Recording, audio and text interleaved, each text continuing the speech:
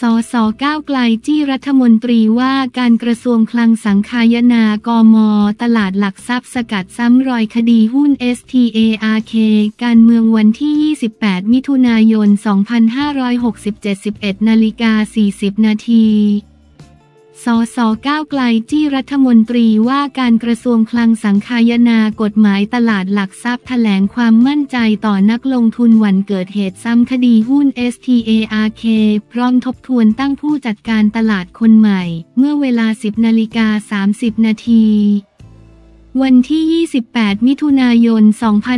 2567 ที่รัฐสภานายจุลพงษ์อยู่เกตสสบัญชีรายชื่อพักก้าวไกลแถลงถึงคดีหุ้น STARK ที่มีผู้เสียหายหลายพันคนและมีความเสียหายประมาณ 15,000 ล้านบาท และได้จับกลุ่มผู้ต้องหาคนสำคัญไปแล้วว่าในฐานะที่กระทรวงการคลังกำกับดูแลสำนักงาน คณะกรรมการกำกับหลักทรัพย์ และตลาดหลักทรัพย์ กลต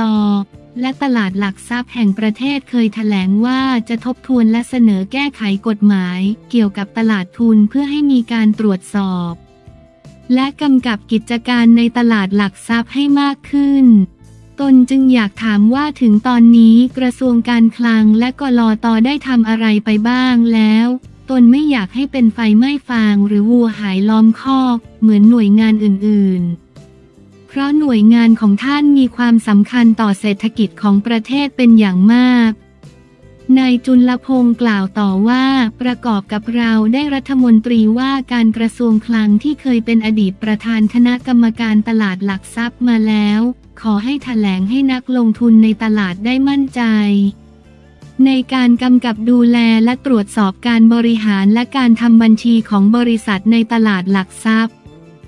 ดังนั้นถึงเวลาแล้วที่กระทรวงการคลังและกลตจะต้องสังคายนากฎหมายและระเบียบทั้งหมดไม่เช่นนั้นจะเกิดกรณีอื้อฉาวทำการตกแต่งบัญชีทำธุรกรรมการเงินปลอมคล้ายกับกรณีหุ้น STARK ที่อาจจะเกิดขึ้นในปลายปีนี้หรือปีหน้า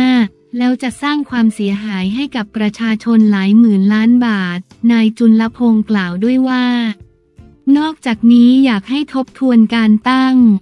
ผู้จัดการตลาดหลักทรัพย์แห่งประเทศไทยคนใหม่ ที่เคยเป็นผู้บริหารและผู้ถือหุ้นในกลุ่มเดียวกับบริษัทที่เคยเป็นบริษัทผู้ตรวจสอบบัญชีของ STARK ในช่วงที่เกิดเหตุแม้การแต่งตั้งผู้จัดการตลาดหลักทรัพย์ จะเป็นอำนาจของคณะกรรมการตลาดหลักทรัพย์ แต่รัฐมนตรีว่าการกระทรวงคลังเป็นผู้รักษาการตาม รอบอ หลักทรัพย์ และตลาดหลักทรัพย์ การเข้ารับตำแหน่งของผู้จัดการตลาดหลักทรัพย์คนใหม่ ยังไม่เข้ารับตำแหน่งจนกว่าจะถึงเดือนสิงหาคมนี้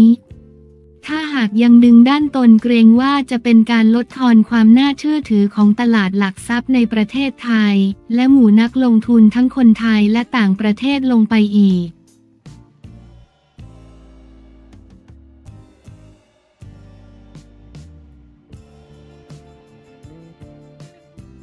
เปิดใจหมอบรูซตกใจคนจ้างชื่อ โมนาแต่ตัวจริง ลิซ่า ปลื้มคำพูดนักร้องดัง เด่นออนไลน์วันที่ 28 มิถุนายน 2567 17นาฬิกา59 นาทีเปิดใจหมอบรูซตกใจคนจ้างชื่อ โมนาแต่ตัวจริง ลิซ่า ปลื้มคำพูดนักร้องดัง อึ้งซ้ำได้โผล่ใน MV เต็มๆ ขอบคุณให้โอกาสกลุ่ม LGBT ขนาดนี้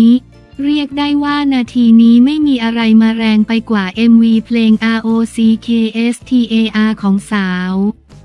ลิซ่าลลิสามโนบาลที่เพิ่งจะปล่อยออกมาสดสดร้อนร้อนเช้านี้ วันที่ 28 มิถุนายน 67 ล่าสุดวันที่ 28 มิถุนายน หมอบรูซคชิตสราศีดาโคตแพทย์เวชปฏิบัติและนักเพศวิทยาคลินิกเปิดใจกับข่าวสดออนไลน์ถึงการได้ร่วมถ่าย MV กับลิซ่าว่าตนไป cast งานตามปกติเลยที่มีประกาศว่ารับนักแสดง extra ที่จะถ่ายทำ MV ระดับโลกจึงส่งใบสมัครไปแล้ววันหนึ่งมีคนโทรมานัดคิววันสัมภาษณ์ ซึ่งเป็นวันที่ตนว่างพอดีแต่ก็แอบถามเขาว่าศิลปินดังคือใคร ทางทีมงานก็ตอบมาว่าเป็นความลับที่ทำสัญญากับต้นสังกัดศิลปินแล้ว แต่บอกได้แค่เป็นศิลปินที่ดังพูดชื่อมา ใครๆก็รู้จักและไม่ผิดหวังแน่นอนหมอบรูซกล่าวว่าการประกาศหานักแสดงเขาต้องการคนในหลายรูปแบบทั้งคนที่มีรอยสักเยอะๆ คนที่เป็น LGBT เป็นต้น ซึ่งตนก็แอบคิดว่าใครกันที่อยากจะ present ตรงนี้ได้มากขนาดนี้ ตนไปดูรายชื่อศิลปินระดับโลกทั้ง Katy Perry ก็กำลังจะออกเพลงใหม่แล้วก็ไม่ได้คาดหวังว่าจะเป็นใคร พอไปถึงหน้างานตนเห็นกล้องถ่ายมากกว่า 40 ตัวตั้งเรียงเป็นครึ่งวงกลมเป็น production ที่อลังการมากตนได้ แต่คิดว่า professional เขาทำงานกันแบบนี้หรือ แล้วก็ให้ตนลงชื่อและเซ็นสัญญา ในสัญญาได้เขียนชื่อศิลปินว่าโมนาตอนนั้นงงว่าใครชื่อโมนาเลยไปหาข้อมูลใน Google ก็ขึ้นแต่โมนาลิซาซึ่งก็ยังไม่เข้าใจว่าโมนาคือใคร แล้วตอนจะถ่ายจริงๆ เขาก็ยึดโทรศัพท์ทุกคนไปเลย แล้วทำงานยาวไปเลย 13 ชั่วโมงตั้งแต่ 5 โมงเย็น พอเริ่มถ่ายทำก็ยังไม่มีใครรู้ว่าศิลปินที่ชื่อโมนาคือใคร ทีมงานก็จัดฉากไปเอาคนนั้นไปอยู่ตรงโน้นเอาคนนั้นไปอยู่ตรงนี้ ตนก็เริ่มเห็นแล้วว่ามีแดนเซอร์ออกมา ถ้ามีแดนเซอร์ก็น่าจะเป็นเคป๊อปไหม แต่ก็ไม่รู้ว่าจะเป็นใครจนคุณลิซ่ามาเข้าฉากถึงได้รู้ตกใจที่ได้มาเจอลิซ่าไม่คิดเลยว่างานที่ cast มาจะมาถ่ายงานลิซ่า มันเป็นโอกาสที่ดีมากๆเลย ซึ่งจะทำให้ดีที่สุดในค่ำคืนนี้ แม้ว่าจะเหนื่อยขนาดไหน ไม่ได้หาง่ายๆกับโอกาสแบบนี้ ตื้นตันกับการได้มาอยู่ใน MV ลิซ่าแบบนี้ ในวันนั้นมันถ่ายทำกันเยอะหลายฉาก มีฉากคนนั่งตุกๆ แบบนี้ไม่คิดว่าฉากของตัวเองจะถูกเอาไปลงใน MV แล้วเป็นฉากที่เด่นด้วย เพราะตอนถ่ายแค่นิดเดียวเองก็ลุ้นจน MV ออก หมอบรูซกล่าวว่ารู้สึกดีมากที่ได้ร่วมงานกับคุณลิซ่า ออร่าออกมากสวยมาก สมกับเป็นซูเปอร์สตาร์แล้วก็ตัวบางมากๆ ตนดูตัวใหญ่ไปเลย แล้วเมื่อคุณลิซ่ามาถ่ายใกล้ๆตนก็พูดไปว่าคุณลิซ่าตัวจริงสวยมากคุณลิซ่าก็หันมายิ้มให้แล้ว ขอบคุณแล้วก็โบกมือ โปรเจกต์นี้ค่อนข้างถูกเก็บไว้เป็นความลับ ตัวหนังสือสัญญาเขายังไม่บอกเลยว่าศิลปินนั้นชื่ออะไร คนทั้งหมดในกองเขาจะไม่พูดชื่อลิซ่าเลย เขาจะเรียกว่าคุณโมนาแม้กระทั่งผู้กำกับเขาคงไม่อยากพูดชื่อลิซ่าเพราะกลัวคนแถวนั้นแตกตื่นและมีสัญญาบอกไว้อยู่ว่าห้ามเผยแพร่ห้ามมีข้อมูลหลุดไปก่อน คือจะโดนฟ้องกันแน่ ซึ่งก็ต้องเก็บความลับนี้ไว้เกือบเดือน เพราะถ่ายทำตั้งแต่วันที่ 13 พฤษภาคม จะได้บอกทุกคนสักที หมอบรูซกล่าวว่ารู้สึกเป็นเกียรติมากที่ได้ร่วมฉากกับคุณลิซ่าแล้วอยู่ก็ดังขึ้นมาเลย ตอนนี้เริ่มมีงานติดต่อเข้ามาเรื่อยๆ แล้ว ต้องขอบคุณทีมงานที่เลือกตนและคุณลิซ่าทีมตัดต่อ